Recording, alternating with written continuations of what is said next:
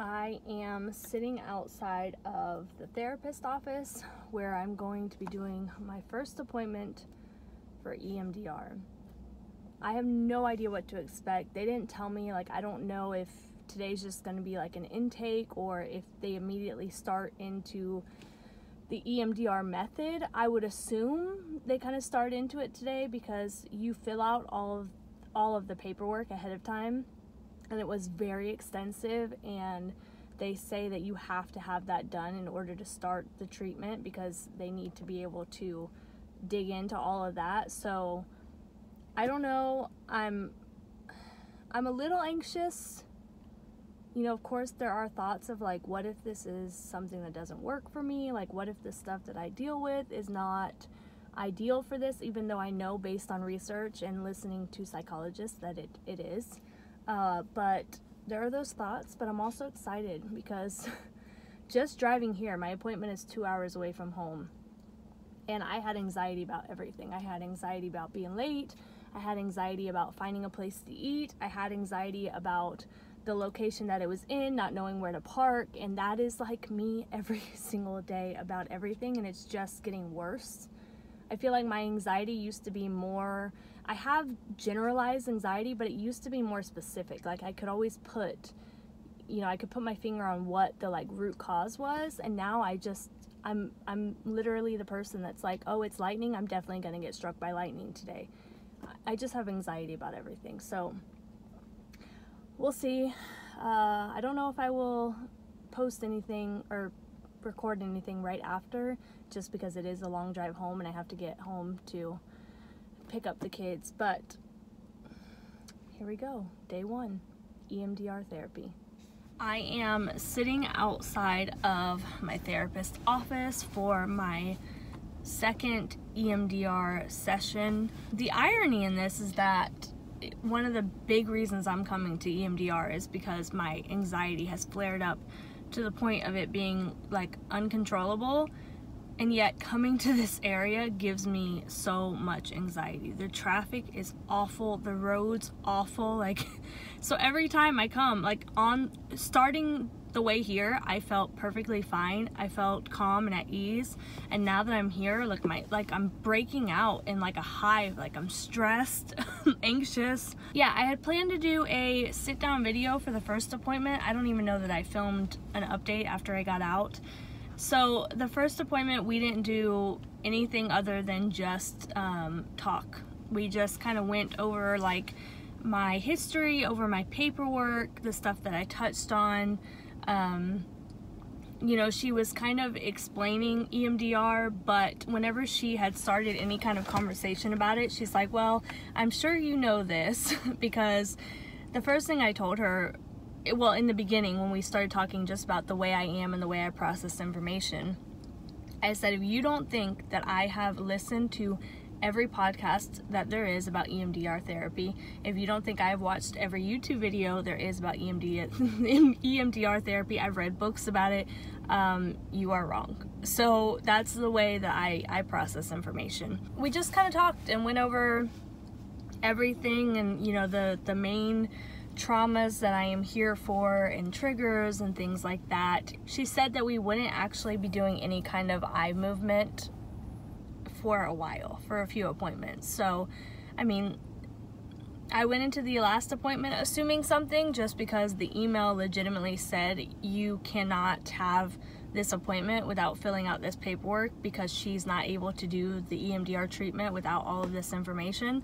I assumed that the first appointment would kind of start right into it, but that's on me for assuming. My husband always says don't assume anything. But here I go again. I'm assuming today is going to be I think maybe she'll just kind of discuss how did it feel last week, um, maybe, and I assume, I'm using, assume, assume, assume, take a shot every time I say assume. Uh, I think maybe we're gonna do the work today where we establish like in EMDR, I don't I don't want to talk too much about it because I'm not a doctor, but you basically establish like safe places. Like anytime you are feeling overwhelmed, you have a safe space, or you also need to create your idea of a container. So, like for some people, it might be a mason jar with a lid. For other people, it might be a door with a lock, and that container becomes like the visual image in your mind where you put your negative experiences or your negative emotions or uh, negative words that you say about yourself you put them in that container and lock them away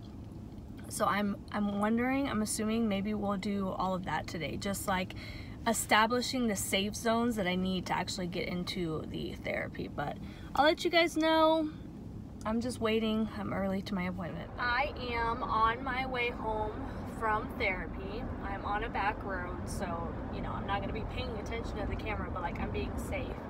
Uh, so today was what I assumed it was going to be.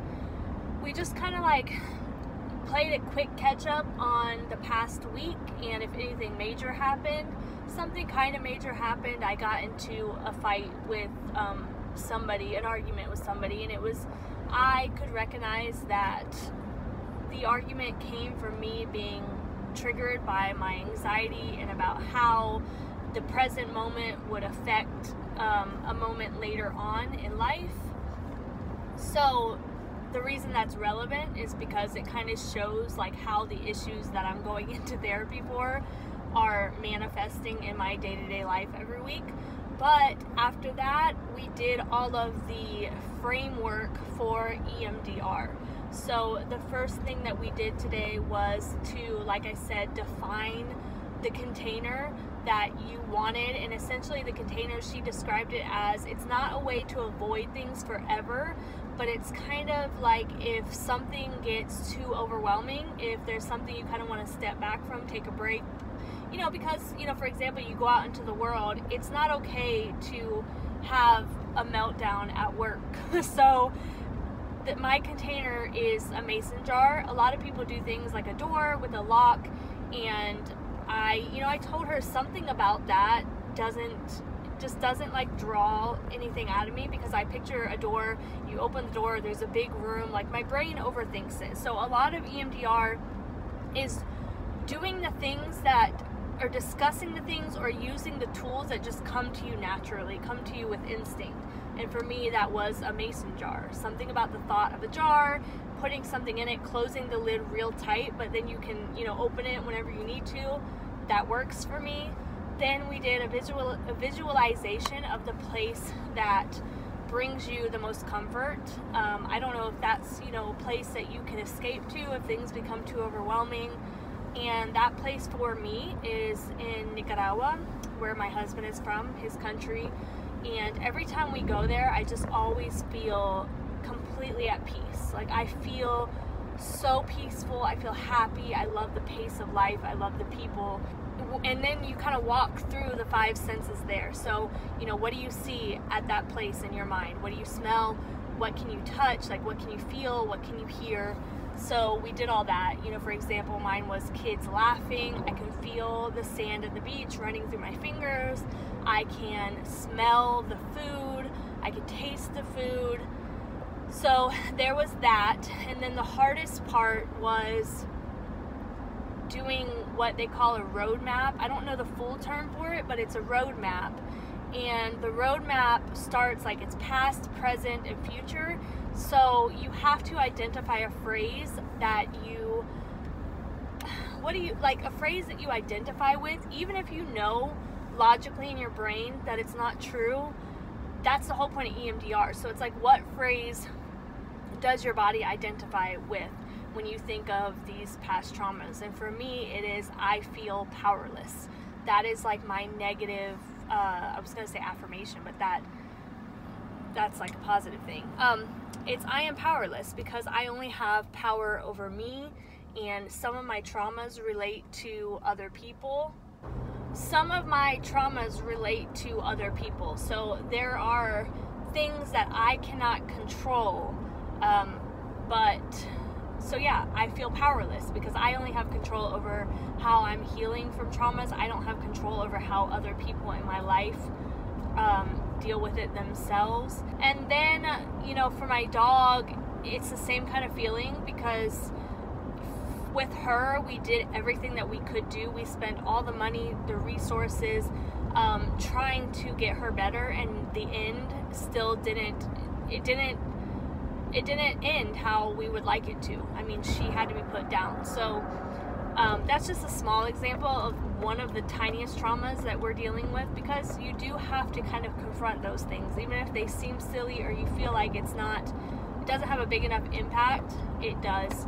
So um, we did that, and then you have to think of like a positive affirmation. I don't remember what it's called, like an alternative affirmation or something like that. And that's what we want the brain to associate the traumas with later. And for me, that was I recognize what I can control and what I cannot control.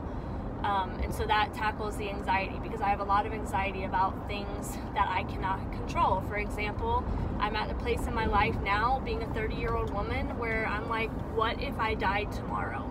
Would my kids be okay? You know, being 10 and 9 years old, have I taught them enough? Have I instilled enough in them that if I were to leave, would they be okay? And obviously, you can't live life like that. I have no control over what happens to me, but as we work through it, I can kind of recognize that thought process and change it. One thing I have recognized about myself the past few years, and now especially, I recognize this in my past therapy, but this therapist, I just relate to her a lot more. I feel like she's really good at understanding and conversation.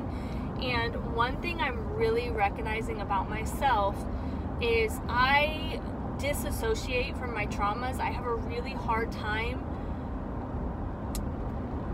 talking about the things that okay let me put it this way when i talk about the one trauma in my life that essentially started all the other all the other like things that really kicked my anxiety into overdrive that kicked my depression into overdrive. It's the thing that day to day affects me the most. It's the thing that i have to confront the most often. It um, you know i have to like i go through my days like well what if this happens with this? Or oh this is happening so it's bringing me back to this. It's definitely a day-to-day trauma. It affects me every single day. And for some reason when i talk about that i get really like stone cold and it doesn't my body doesn't react as aggressively but when i talk about loss and grief every time i start crying even though day to day that does not impact me as much it hasn't had as big of an effect on my thoughts and my anxiety and my depression that is what I end up crying over. That's what my body responds to. And I don't quite understand it. I have theories. You know, part of me thinks like because the other trauma is like lingering in my body, it causes me to be more emotional about the things that aren't as impactful. Um, but she did say that that is very normal. And another thing she said was, you know, as we were continuously walking through these things, she's like, you are so aware of your emotions. Like you are crazy aware of your emotions. I don't have to tell you anything that I'm telling you, which by the way, I heard that from my last therapist. Uh, so we're moving really quickly because she's just like, you really recognize that. And you know, oh, something maybe that comes up with your kids, most other parents don't recognize that, but you are so aware, you know the psychology of it. So we're doing a little bit of work with that because she's having to work with somebody that recognizes where emotions are coming from and triggers are coming from. And that's kind of what I keep trying to explain to her. This is why I want to do the EMDR because logically, my brain knows that the trauma is not like life threatening, that I can deal with it. Um, I don't feel helpless. I could go into a whole other video about that. My my my phrase was I feel powerless, not I feel helpless because I don't feel helpless. I don't feel like the victim. My brain doesn't think that, but even still my body reacts to these things. It reacts to stimulus and triggers. And so I don't know where I was going with that because I'm, I'm, so focused on driving. Um, but that's why I'm doing the EMDR because logically I know where I'm at and where I want to be, but my body just hasn't caught up. And you know, that's why we kind of cut back to the book, The Body Keeps Score, because even if you've dealt with your traumas and you work through them, the brain just changes. Anyways, I'm rambling on for a long time now, so I'm gonna go. That was appointment number two next week. She said we're gonna finish the like the positive affirmation roadmap, and then we should start the eye movement process either next week or the week after. She said we're moving through it quickly. So, yep, I'll see you guys in the next one.